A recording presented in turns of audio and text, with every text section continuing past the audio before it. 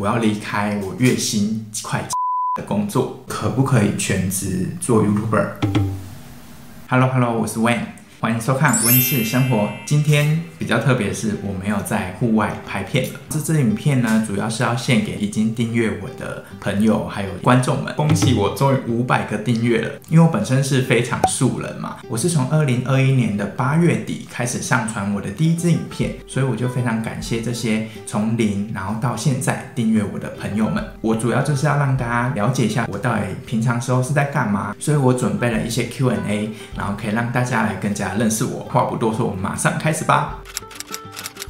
一开始拍影片到现在呢，我都是有一个正职的工作，就是我最一开始其实都是在做精品业的销售员。近期比较长久的工作，大概是我在健身产业做过店经理，还有品牌专任的讲师，现任的加盟支持经理。所以我从二零二一年开始一直这样兼职，很佛系的拍片。老实说也蛮奇妙的，因为我是在二零二一年的上半年看了一部叫做《Seven Up 人生七年》，它是英国 BBC 的纪录片。主要呢，这部纪录片它就是导演他从一九六四年的时候找了十四名来自英国各地不同阶层的儿童，每隔七年会帮他们拍摄一次。计划一直都还在进行中，但很不幸呢，我记得导演他在前几年已经过世了。其实导演一开始拍这部纪录片啊，他是为了要验证阶层差异对一个人他成长的影响。啊，从一开始到后来六十几岁，这整个帮他们跟拍的这个过程中，他发现其实人生是还蛮残酷的，但在这当中，他也找到了一些不一样的意义。主要他从这些被拍摄者当中，想要去了解说，到底是什么可以影响一个人的未来的命运，不外乎就是你一开始生下来的阶层嘛，所受的教育啊，还有你成长的环境。印象深刻的是，导演在这几个小朋友当中，这三个小朋友是出生在伦敦东区比较偏。工人阶层的小朋友，贫穷一点的，所以他们在整个过程中也遭遇到比较多的意外的事件。这三个女生啊，其实有两个，他们在受访的时候比较容易抱怨自己身处的环境，但是其中一个叫苏珊的，跟这两位比较不一样。她在受访的时候常常都是笑容满面的，虽然说她也遇到了很多不好的事情，但她其实在面对镜头的时候，她都还是保持着一个比较乐观的态度。过程中，她也一直在找机。会不断的提升自己。看完这个纪录片啊，我自己就真的是蛮有感受的，因为可能就是我家里也是从小时候还不错的环境，到现在经历过很多肥皂剧的剧情啊。我们常说的就是，可能你小时候的事情，然后影响到你长大的一些心智啊，或是你的一些个性等等。因此呢，我觉得在看完这个纪录片，我就决定说，从我现在开始，我想要把我遇到的事情，然后还有我觉得是还不错的经验，或是我去旅行的时候，我觉得很棒的一些画面，或是我遇到的人事物，我都想把它记录下来。或者从一开始有追踪我的朋友们，应该会发现，其实我一开始的名字不是温室生活，是问问人生。我后来觉得它有点沉重，所以我就把它改成温室生活。改成温室生活之后呢，我就主要都是分享我的旅行跟职人访谈。未来也希望有更多不同的尝试。决定要把我的重心放在发展我的 YouTube 频道上面，所以呢，我要离开我月薪快七万的工作。很多朋友听到这件事都觉得我疯了。虽然说这个金额可能对。某一些人，他们可能觉得没有多少了。不过，其实，在对于高雄生活的我，算是还不错收入了。四月开始啊，开始会去旅行，完完全全的只经营我的 YouTube 频道。同时，我还会开启我一个新的 IG 账号。IG 的部分，我比较多会去把一些旅游的资讯，然后还有一些我平常遇到人事物，然后一些小故事，把它记录下来。那有兴趣的人，到时候可以在我的资讯栏追踪我的 IG。从今年开始，我真的就要去冒险了，所以我会开始不断的去旅行。如果有干爹干妈想要赞助我的话，非常欢迎哦。然后重点来了，其实我的频道现在还没有开启收益，因为 YouTube 如果要开启收益的话，必须先达到一千个订阅者，一年要累积四千小时的观看时长。那观看时长我是快到了，最主要就是卡在我的订阅只到一半，所以拜托拜托，如果会看我的影片，赶快帮我订阅，我会非常感恩的。其实我真的还蛮害怕的，不过我觉得最大的转机应该是在我二零二一年，我短暂的离职过，在那个离职的三个月中，去了慈善。长居了一个月。那在那段时间，我有认识到一些已经退休的人，刚好有一对夫妻，太太的话，她七十几岁了，到现在哦，她都还会就是一个人，然后去世界各地，然后可能住背包客栈啊。去旅居，那如果她老公有空的话，就是她也会跟她老公一起去。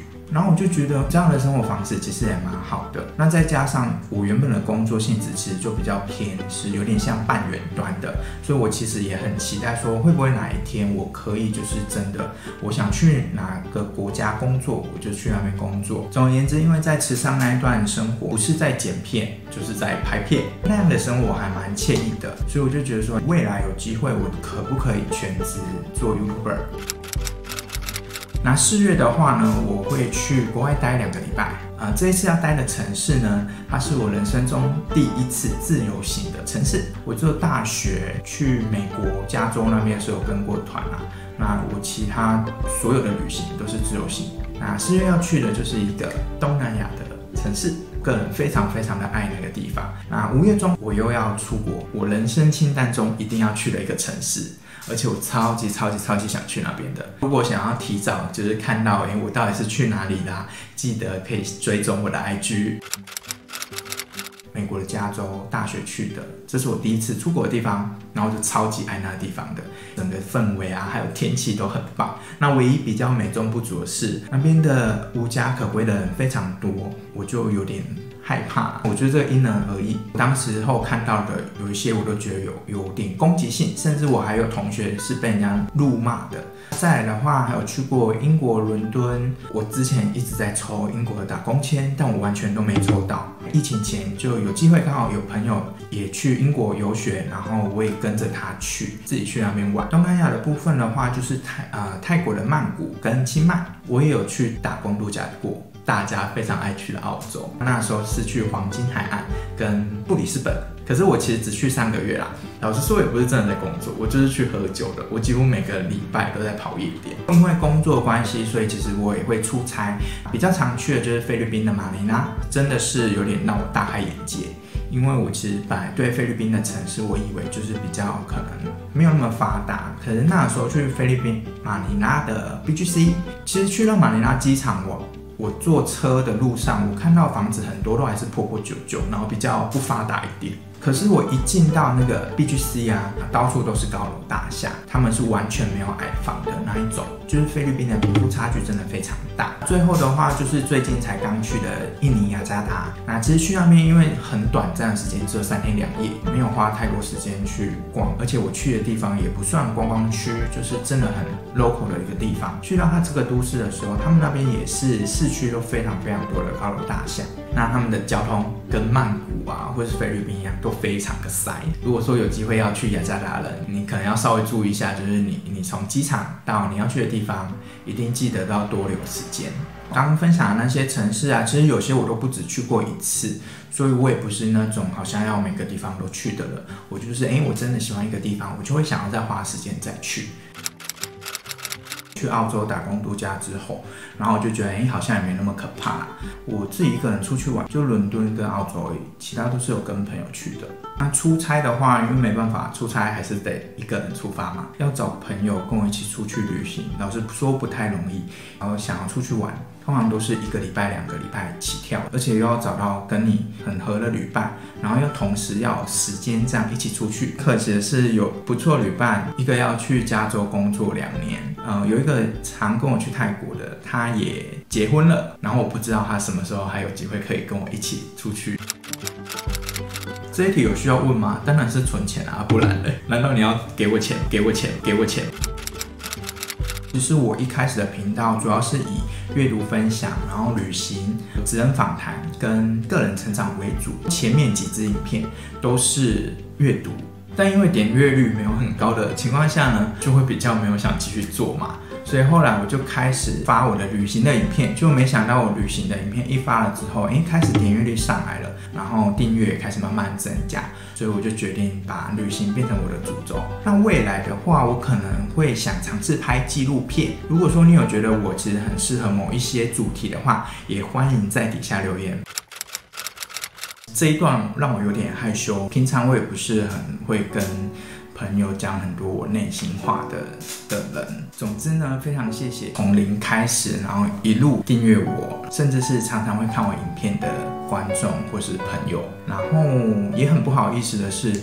嗯，我真的更新的很慢，因为平常要工作啦。然后我剪片是从不会剪到现在稍微比较顺一点了。不过这边我可以跟大家保证的是，接下来离开现有的工作之后呢，重心都会在发展我的 YouTube 上。给自己的期待一定是一个月两支影片以上的。做一个那么冒险的决定，我曾经国中读过美术班，我是插班考试进去的。在考进去前呢，其实我是非常爱画画的人。可是考进去之后，其实就发现，哎，美术班不是真的只是美。术而已，它是变相的自由班，就是你功课也要顾得非常好，那同时你每天又要画画，这些压力在当时的我是后期是承受不起啦。在那个环境下，其实大家都是非常非常竞争的，那我也不太喜欢那样的感觉，所以我后来只读一年，我又回去我的普通班了。现在我心里一直有一个遗憾，我有时候会去想说，哎，如果如果当时坚持下来，那现在我会成为怎样的人？我希望未来的我。不要去后悔自己一些曾经想做的事，然后。小时候就会想说，哎，以后长大如果真的有机会当创作者，我很怕会饿死啊。像我刚前面有提到的，就因为家里的关系，直到现在，对于经济我都还是会有很大的不安全感。所以我在做一些决定的时候，我可能还是会倾向于，哎，尽量让自己是可以一直有钱进来的状况下，然后去做决定的。在接下来的人生里面，我不要再去一直有这个遗憾挂在心里。所以我决定要让自己就是去真的变成一个创作者，不管。是真的有钱或者没钱，我都希望自己可以去克服这件这个事情。不知道我会不会有名，或者是说真的能不能从 YouTube 上面赚到很多的钱？但是我希望自己是每做一件事情的时候，我都很享受在那个当下。然后我希望我做的事情是可以让我有满满的成就感的。好啦，总之呢，我会不断的产出更好的内容分享给大家。重点是我真的非常希望，在未来的世界里面，每个人都是可以不用抱着别人的期待去过生活，而是你真正知道你想要什么，可以勇敢去追求你理想中的那一个生活。好啦，最后呢，真的非常谢谢那些呃喜欢温室生活的朋友或是观众们，记得帮我订阅、按赞、开启小铃铛，我们下个影片见喽，拜拜。